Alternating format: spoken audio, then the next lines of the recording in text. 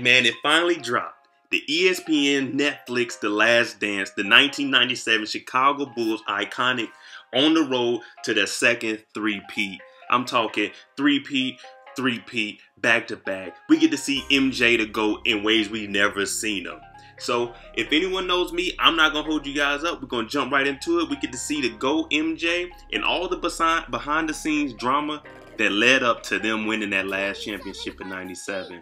Hey, if you like my content, subscribe to the channel, turn your notifications on.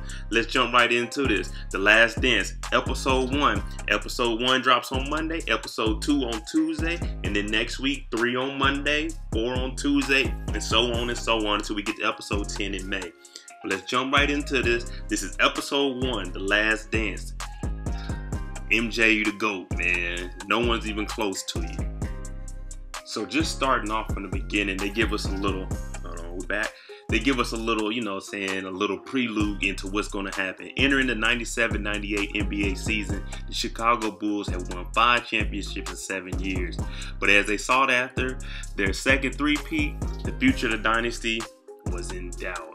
Now, if anybody knows, Michael Jordan took what 18 months off in between the first three-peat and the second three-peat. We got to see Space Jam. We don't know why he really took off, but you know, saying all kinds of speculation. But pretty much there was a lot of doubt going on on will they win this next three-peat and will the Bulls still be intact for the you know saying for the years to come? Because at this point they just won five championships in seven years.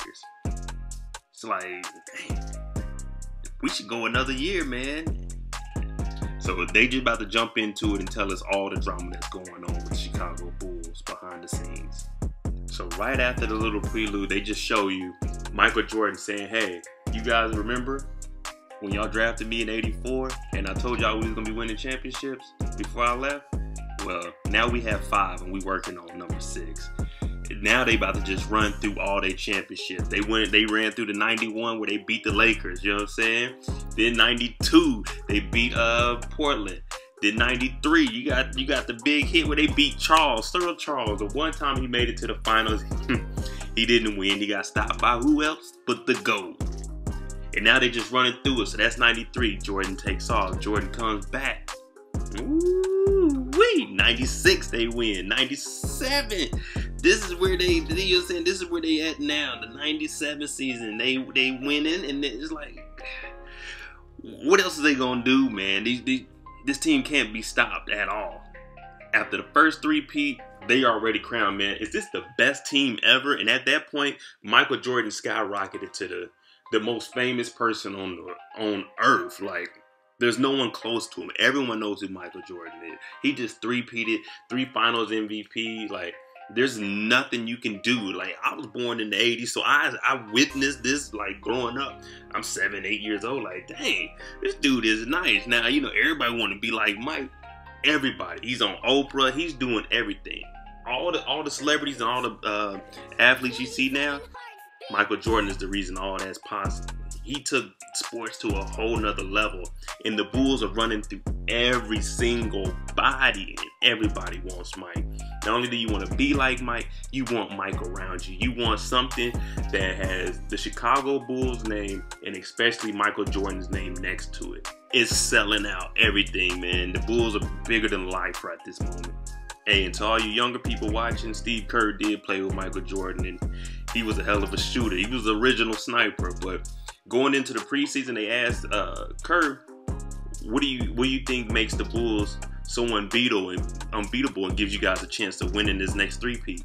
Oh, we got Michael Jordan. He's different from everybody. There's no one like him. We got Michael Jordan. We got a chance to win it all. Like it's just that simple. Like, and they really do. With Michael Jordan on that court, it ain't nothing you can do. So where all the drama came from all right, they they've been running. They got Dennis Rodman, they got Scottie Pippen, Kerr.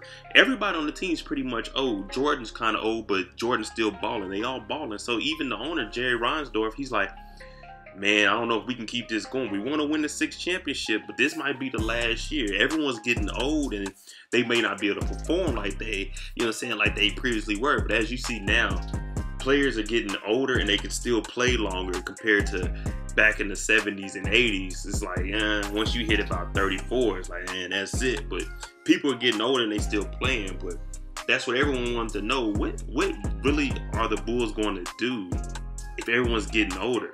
Let's let's make sure we win this last championship before we try to break it up and try to rebuild or anything.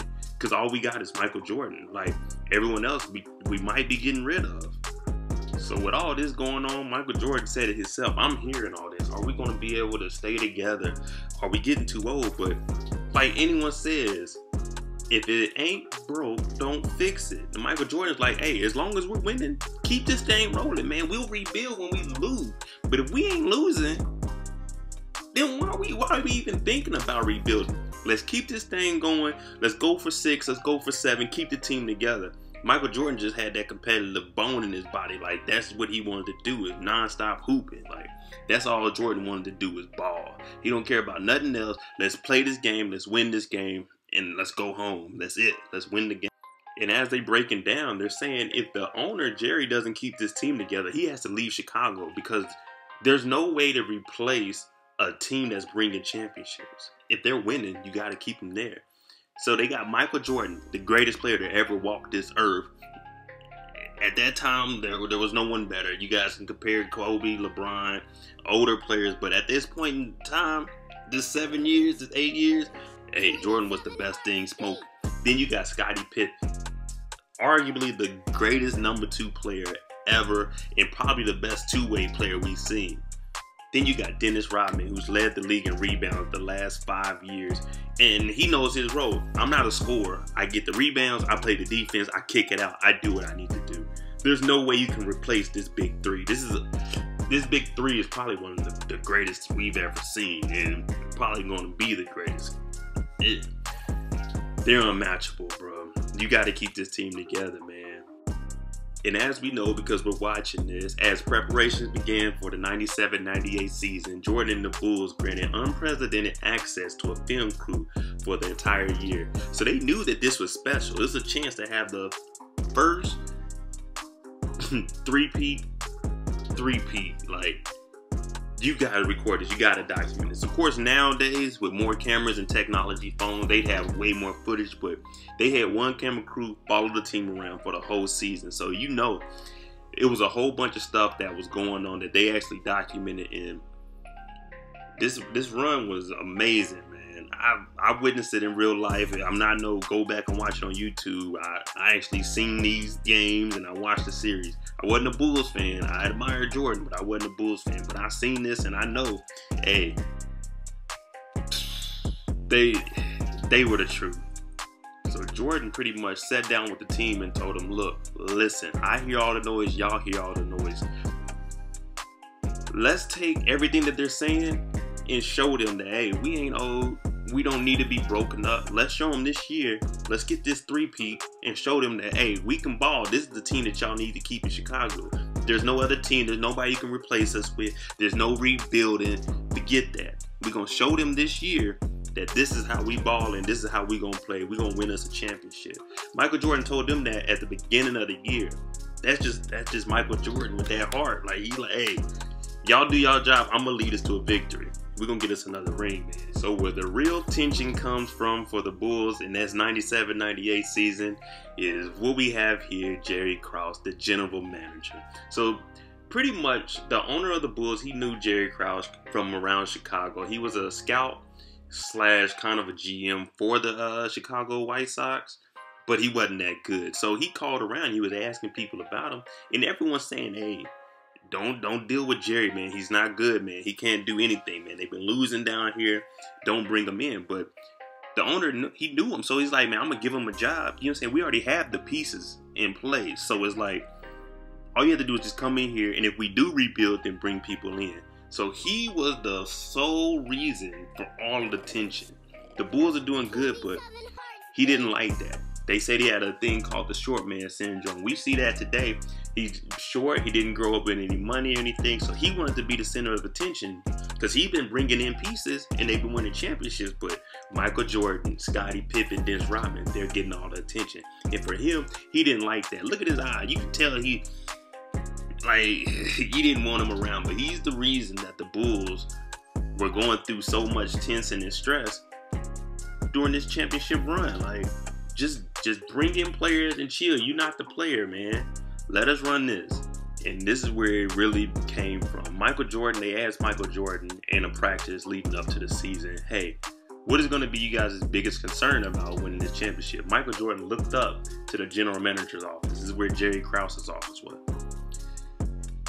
Because everyone knew he's trying to break up the team and rebuild it. And remember what I just told you about the short man syndrome? So there was an interview that he had, and he told the interviewee, hey, um, players don't win championships. Organizations win championships.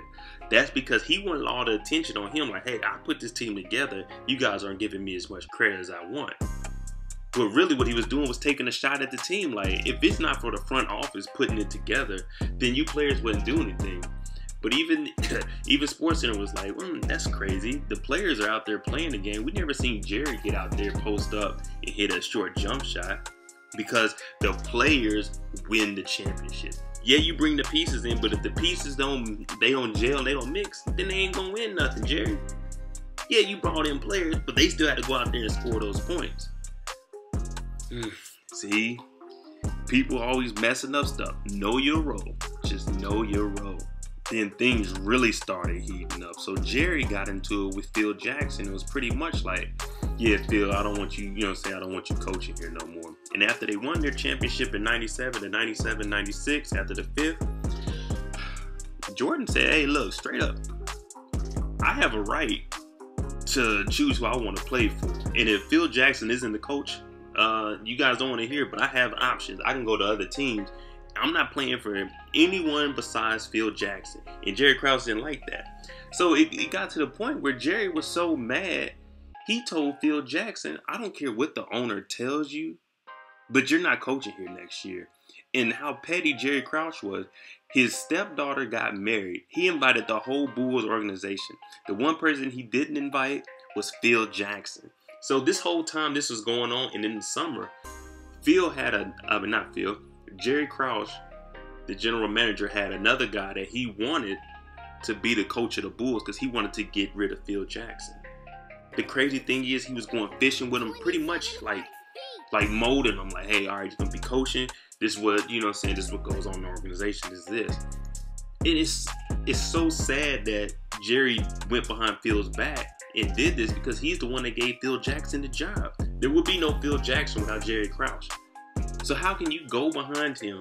You brought him in, he gave you five championships, and now you're talking about, hey, yeah, we signed you for one year, six million dollars. This is it. After this, you won't be coaching anymore. And as we all know, that Phil no longer coached the Bulls, and ended up going to the Lakers. But dog, six championships, and Jerry, you was acting like that.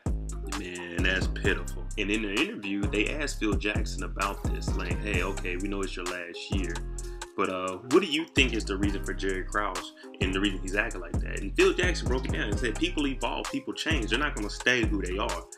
But what he did point out was head coaches, money went up here. General managers probably started here and went like here.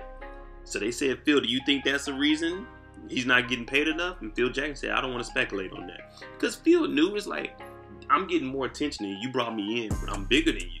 Like, we're the Bulls, we're bigger than you. But the thing is, you're part of the Bulls organization play your role, you're up here with us. Of course, Michael's ahead of all of us, but you're right here with us. You're still going to be known as the GM that brought in all these players and put together six championships. Look at Jerry Krause. Like, so after all that, Michael Jordan and Scottie Pippen, they started pretty much just making fun of Jerry in his face about him being short. Like, it's crazy. So, leading up to the preseason games in the uh, the 97-98 season, they had a McDonald's championship in Paris. So they all, the whole Bulls organization, they go over there. And at this point, Jordan is the man. Everybody knows Michael Jordan. Oh, Michael Jordan, Michael Jordan, Michael Jordan, everywhere. And Michael Jordan being Michael Jordan, pretty much just like, hey, you know what it is? He got the little beret on, like he just chilling. It's Michael Jordan being Michael Jordan. And everywhere they, I'm talking about swarm it's ridiculous. Like everybody loves him.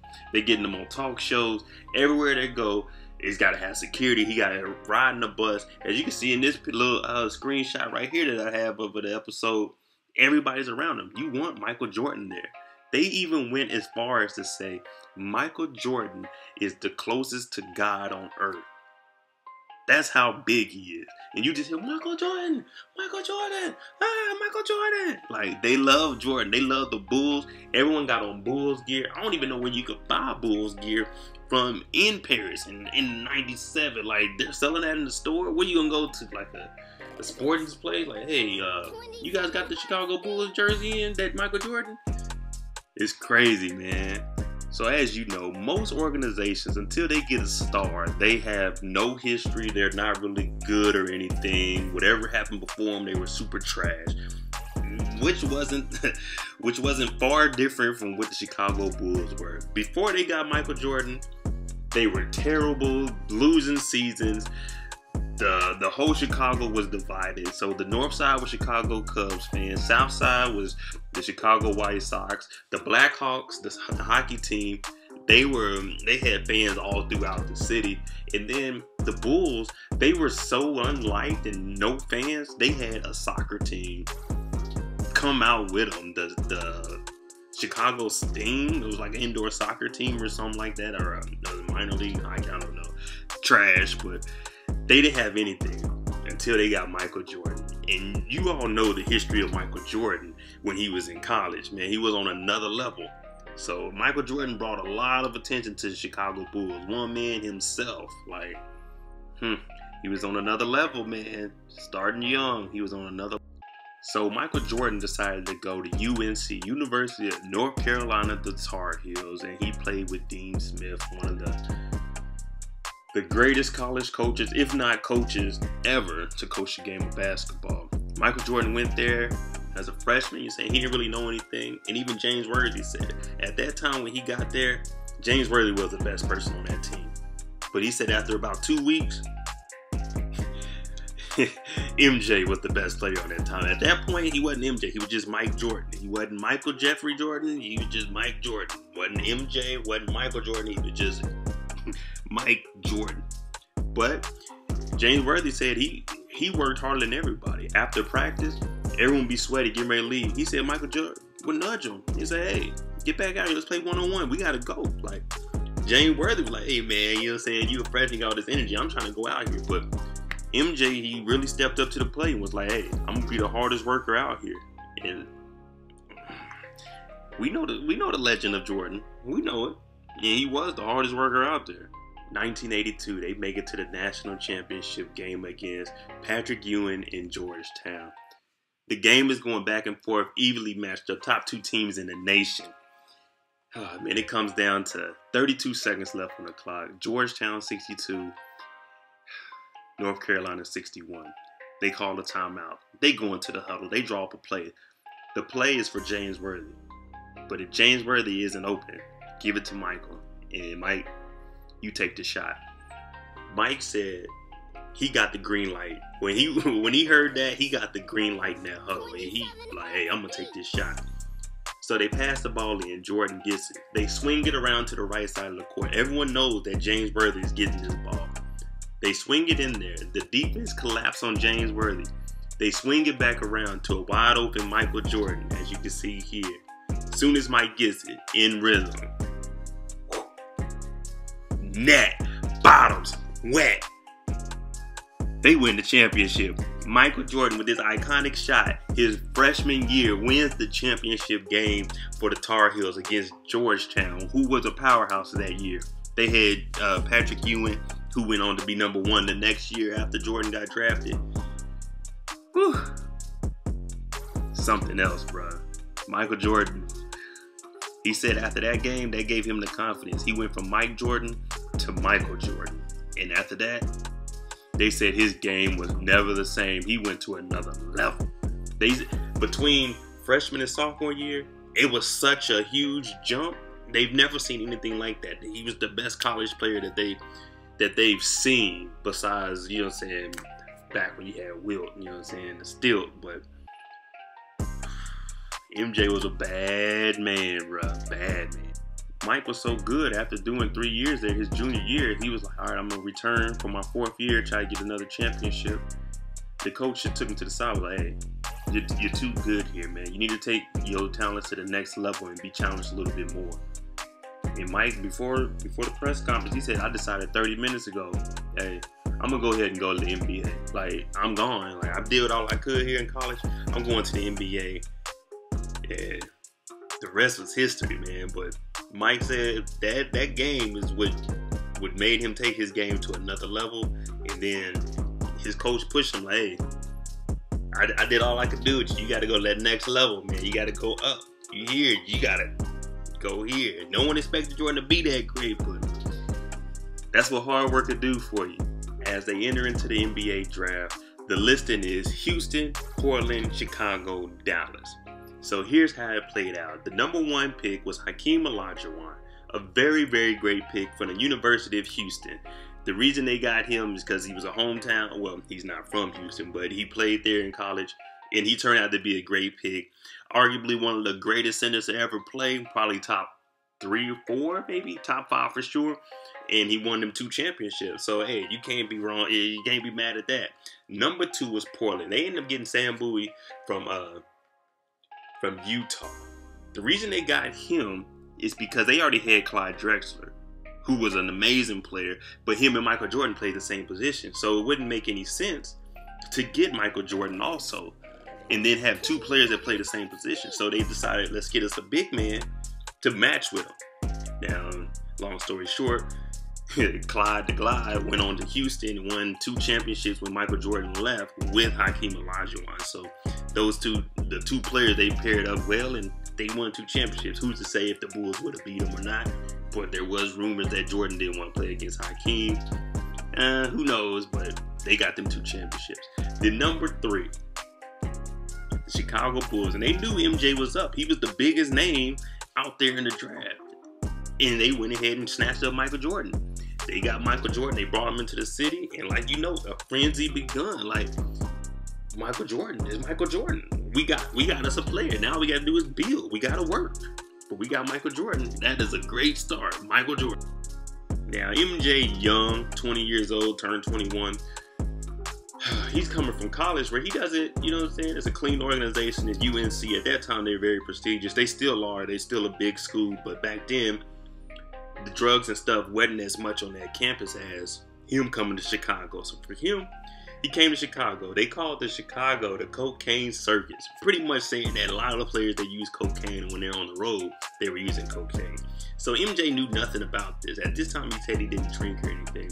But one night, they were in Peoria, Illinois. This is the preseason, and they're all in a hotel. So he's going to look for his teammates. So he's knocking on doors. Doom, doom, doom, doom. He can't find nobody. He gets to a door and he knocks on it, and he said he can hear, "Hey, shh." And then Michael said, someone with a deep voice said, "Who is it?" He was like, "Hey, it's me, MJ." They were like, "Oh, he's a rookie. Let him in." So he comes in. And he goes and he says there's like sections. So in this section, it was your lines, coke, then you got your marijuana, and then you got your women. So whatever you wanted was in there. But he never been around that. And he knew at that point, he said, hey, if I'm in this room and someone come and raid this, I'm just as guilty as everyone in the room. So Michael Jordan left. And he said after that, he pretty much became a loner. So at that time, Jordan's a loner. He's not really hanging with the team. Hey, he just out there balling. Like, I'm practicing, practicing, practicing. All day, all he did was practice.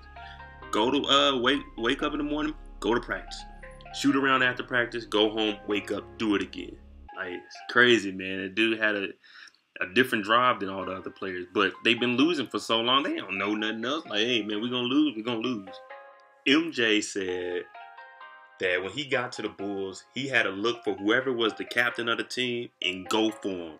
And he had to go at him with his game because he didn't have a voice. He was a rookie, so no one was going to listen to him. So he had to show them that he was the best player on his team.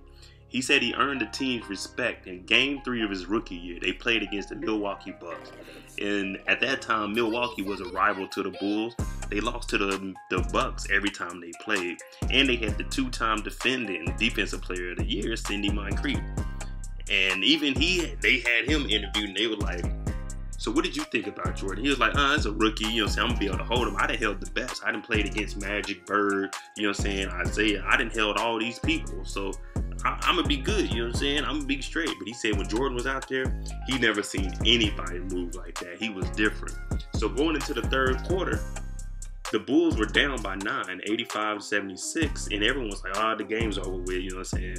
We'll just get ready for next game. And Jordan was like, the game ain't over, man. We still got a whole quarter left. But they were just so used to losing, that's instilled in their brain. Like, hey, man, it's over with. Let's get ready for the next game. I tell you, Jordan was in the huddle and told them it ain't over with. He had 24 points going into the quarter, and then he just went off. He carried the team, and they ended up winning. I'm talking about and ones, reverses, everything, dunking on them. And at that point, the head coach is like, "Yep, hey, yo, that that's our best player right there. That's the best player right there. MJ is hey, the new captain, the new best player of this team, the new everything. You know what I'm saying? It's about to be called the Chicago Jordan Bulls. Like that's what it, Jordan was doing right there. He was changing the whole game up for him. Mike was ripping and running through the NBA, which led him to win NBA Rookie of the Year. They said once Michael got there, games were not even two thirds like tickets sold. They went to everything sold out. They even had standing room. They were selling standing room just so you can get in there and see Michael Jordan. President Obama was living in Chicago and he said he was poor. He couldn't even get the, the cheap tickets. That's how poor he was, but everyone wanted to see Michael Jordan. If you were in Chicago, if you were anywhere in the United States, you wanted to see Michael Jordan play when he came to your city. But if you were in Chicago, if you didn't get them tickets early, you weren't gonna see me. You wasn't. Mm-mm hey, go ahead and nip that in the bud. Like, you're not. They were asking kids, what would you rather get? Christmas presents? And they were like, nah, we'd rather get tickets to see Michael Jordan play than get Christmas presents. This is how big Michael Jordan was. And he went on to win Rookie of the Year. No one expected when he got drafted to be this good. This guy's a whole nother level. Magic, Bird, everyone's looking at him like, this is it. This is it right here. This is the next it's the next thing after we phase out. Is so leading up to the to the championship game they had, the McDonald's championship game that they had in Paris. You know, Donald Sterling flew over. I mean, not Donald Sterling, David Sterling flew over, and you know, saying him and Mike it became close at this time. You know, this this is present in the 97, 98, the preseason game.